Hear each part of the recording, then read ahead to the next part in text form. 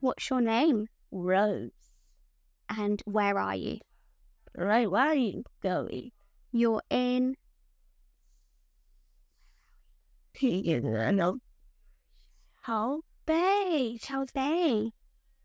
Billie and Rose. Billie and Rose. I'm Billie. I'm Rose's class teacher. That's uh, uh, absolutely okay. You're absolutely okay. So Rose has sort of lots of verbal language now. And I think to begin with, it was just about learning all these different keywords and what they meant. Um, so it's for Rose in particular, with her processing, she needs a lot of time to be able to answer questions and to understand what's being said and what's being asked. So we introduce sort of like symbols inside to support with learning keywords.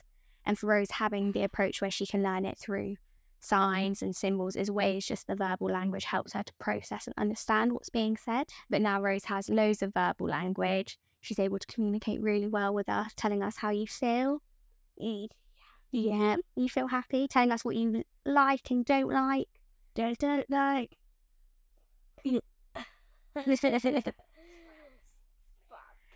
Yeah, you don't like carrots, do you? Carrots. Well, then, look. Yeah, banana, strawberry, yeah. You like strawberries and sausages. Um, And what did we just do that you like? We went on the bus. on the ba- Bike. Bike. yeah, and your favorite lesson is Swimming. Lovely. I think there's lots of students that have so much going on, and it's really important that we're asking them and including them in decision. Oh, oh. I think it's really important that we still include them in decision making because at the end of the day, we're supporting them with their lives. Just because they don't communicate the way we communicate doesn't mean they can't communicate, and it doesn't mean they shouldn't be viewed and valued the same way the rest of us.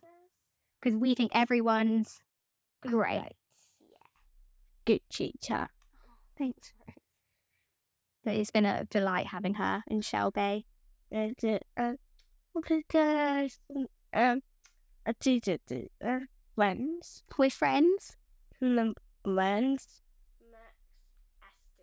and you've got lots of friends in Shell Bay, yeah. Mm, you absolutely, um, you, you too. Thank you.